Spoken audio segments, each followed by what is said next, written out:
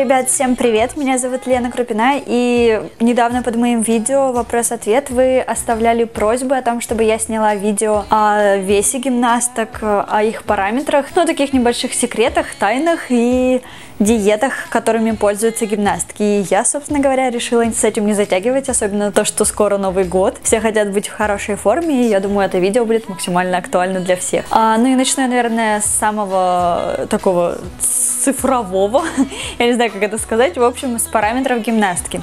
А, вообще есть определенная формула, по которой гимнастка должна вычесть свой рост, а, вычесть 120 и получится цифра.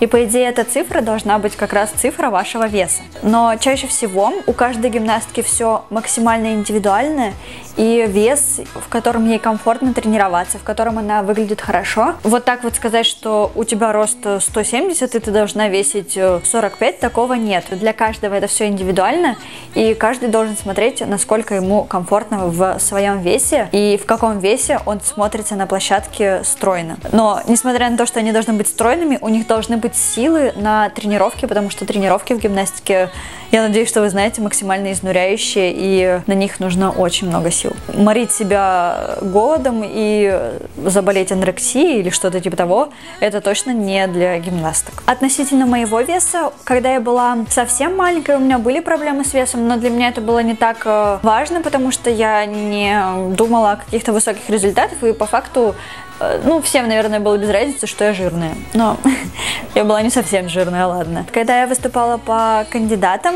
в юниорской сборной, то в юниорской сборной области, если что, то там я была худой, потому что тогда у меня выпал такой период э, моей жизни, что я как раз вытягивалась вверх, и весь мой жир уходил в рост. Поэтому у меня в тот момент времени особо проблем с весом тоже не было. Но самые проблемы начинаются, наверное, когда ты становишься более взрослой, и твой организм начинает меняться, взрослеть. Каждый лишний сахар, лишняя булочка, печенька может отложиться у тебя где-нибудь на животике, еще где-то. То есть, если раньше ты это все выгонял где-то на улице, на тренировках, э, у тебя был более быстрый обмен веществ, то с возрастом это все замедляется, и весь сахар, все булочки, соки, Э, в общем, вся вот эта чипсы, все это начинает откладываться, и тебе становится тяжелее держать себя в форме. У меня как раз такое было, я очень любила соки, потому что я не люблю пить кофе и чай, то есть я пью либо воду, либо соки. И вот как раз, когда я выступала по мастерам, у меня от сока, потому что там очень много сахара, и у меня начал появляться лишний вес, который стало заметно, который стал виден даже на тренировках, а это уже вообще жесть. Теперь, собственно говоря, как я с этим боролась. Я никогда не сидела очень долго на диетах, максимум сколько ты тратишь тратишь времени на сгонку веса, это может быть неделя, две, не больше. Иначе ты начинаешь истощать свой организм, и у тебя могут быть, э, не могут быть, а могут начаться проблемы со здоровьем, даже если ты думаешь, что у тебя все хорошо. Поэтому ни в коем случае нельзя злоупотреблять диетами, и вообще все вот эти диеты, которые прописаны во всяких ВКонтакте и пишут на сайтах, лично я всегда против них, потому что мне кажется, что каждый человек должен понимать, э, насколько ему комфортно и как ему комфортно худеть. То есть, если ты э, ешь каждый день сладкое, то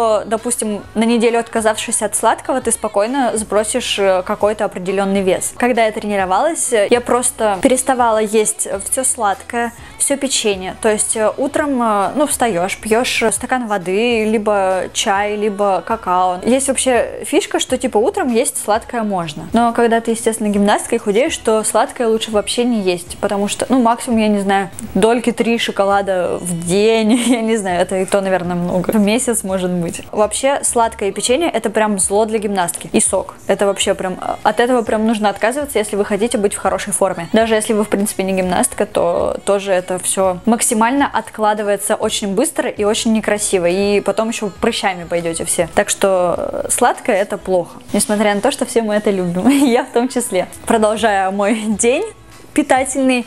А, днем я чаще всего ничего не ела, потому что после обеда я иду на тренировку, перед тренировкой наедаться нельзя, и чаще всего у меня было маленькое расстояние по времени, то есть я по факту ничего не ела в обед. Обычно я приходила домой и нажиралась вечером, и от этого пошел мой вес, ну, грубо говоря, туда, куда не стоило бы ему идти. Я не знаю, мне кажется, это очень вредно, но я просто съедала на ужин один грейпфрут, максимально большой, и все. естественно, ты весь день пьешь воду. Утром, днем, вечером, э, до тренировки, после тренировки максимально много воды, чтобы утолять свой голод. Потому что если ты перестанешь есть, ты просто будешь хотеть есть, и ты будешь только и думать о том, что я хочу есть, я хочу есть. То есть это нужно как-то утолять. И э, вот э, у меня был способ вода. Мне это помогало, и у меня так уходил вес максимально быстро и как сказать, то, что не нужно, в общем, уходило. И то, что касается воды, а, я вообще очень много пью воды и очень люблю воду, потому что я, как уже говорила, не люблю ни чай, ни кофе, и соки стараюсь не пить, потому что в моем возрасте это все еще намного сильнее откладывается, поэтому соки я стараюсь максимально редко пить, а с брекетами это еще ну, наложилось то, что ну, нежелательно это все пить только через трубочку и вообще лучше не пить, иначе сахар, короче, все это это все так дорого, и, в общем, лучше вообще не есть и ходить вот так это, чтобы ничего туда не попадало. Раньше э, я покупала воду в магазине бутылированную, но на это уходило очень много денег, потому что пить нужно каждый день, даже когда ты не худеешь, а просто, чтобы весь организм у тебя хорошо работал, ему нужна жидкость. Иначе у тебя начинает сохнуть лицо, губы. Я постоянно носила и сейчас продолжаю носить с собой каждый день воду. Мы воду почему-то не кипятим, то есть у нас вода только горячая, и у нас сразу стал вопрос, где брать воду холодную. Кипяченая вода вообще по вкусу не очень вкусная, она немного жестковатая, по крайней мере для меня, не знаю, как для вас. И мы стали ходить в ларечки с водой, где продают эту воду в бутылочках в таких пятилитровых. Я живу в новостройке, и этот ларечек с водой от нас очень далеко. И если вы смотрели наши влоги, то вы знаете, что мы постоянно ходили туда-сюда, но, в общем, это утомляет, и вообще это ну, не так удобно, как хотелось. И я сама давно задумывалась о том, чтобы приобрести домой фильтр для воды, без которой сейчас я просто не представляю, как я до этого жила. Я очень странно сказала, но вы поняли. Что самое, наверное, главное для людей, которые живут в небольших квартирах, это то, что он занимает очень мало места. Он стоит под раковиной, его приходит, устанавливает э, специальный человек. А к нам, кстати, приходил очень милый мужчина, который ответил на все мои вопросы, которых было очень много. Я переживала, что он подумает, господи, она либо тупая, что задает столько вопросов, либо просто очень любопытная. Он говорил, что в нашем доме тоже такие же фильтры заказывают, причем именно этой марки. Но у меня конкретно фильтр обратного осмоса Aquafor Marion DVM 101S. Ну и конечно же ссылочка на модель, как у меня, есть в описании к ролику. Он удаляет вредные примеси, задерживает бактерии и даже вирусы и смягчает воду. Но для меня главный аргумент был то, что вода сама по себе вкусная. Еще она очень красиво выглядит, не как какая-нибудь абандура с вот таким 50-литровым чаном, из которой капает водичка тебе. Вот, кстати, тоже написано, что постоянно большой запас воды. Там есть такая емкость, и там набирается вода очищенная. И из этой очищенной воды э, ты вот открываешь крантик, и тебе льется вот эта чистая вода. Перед тем, как она наполнится вот в этот вот, э, вот эту емкость э, небольшую, ну относительно небольшую, у нас еще не было такого, что у нас закончилась вода. То есть нету такого, что вот у нас нет воды, что нам делать? Плюс как раз того, что там есть емкость э, для набора воды, где хранится эта чистая вода. И эта вода проходит через эти четыре баллончика. Все вот эти вот четыре баллончика, они все очищают воду и делают ее как раз вот такой, как здесь написано. Мне, естественно, было интересно, насколько дорогое обслуживание такой роскоши, как э, фильтр для воды. Но мне кажется, это раньше было роскошь, а сейчас, мне кажется, уже у всех почти на кухнях стоят э, фильтры. Я была очень удивлена, что на самом деле эти вот фильтры, которые очищают воду, их нужно менять не так часто. То есть нету такого такого, что их нужно менять раз в месяц. То есть э, это, опять же, очень удобно. Сами эти фильтры стоят недорого, и, ну, по факту менять их нужно не так часто. У меня вот комплект был с краном сразу, и это очень классно, потому что это, это вообще так классно иметь два крана. Это как будто у тебя, ну, типа, два телефона или там, не знаю, два компьютера. Ну, это такое, типа, у меня теперь два крана.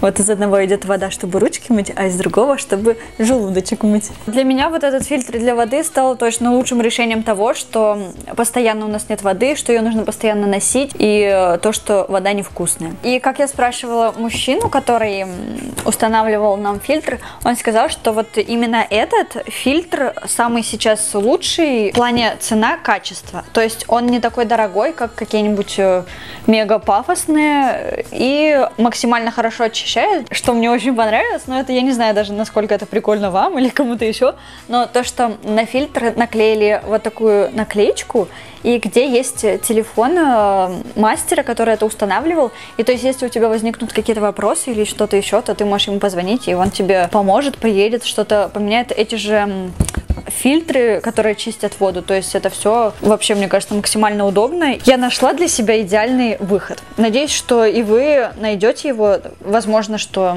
это будет не фильтр для воды, а... Кстати, э, нет, это будет, конечно же, фильтр для воды. Кого я обманываю? Что может быть удобнее? Я даже не знаю. Что может... Мне кажется, ничего не может быть удобнее. Рабы. Да, рабы могут быть удобнее, но у рабов тоже есть минус, что они могут Запутаться. да, и подлить тебе в воду какой-нибудь яд. яд, да. А с фильтром не? А с фильтром рабы тебя под яд подсыпать не смогут.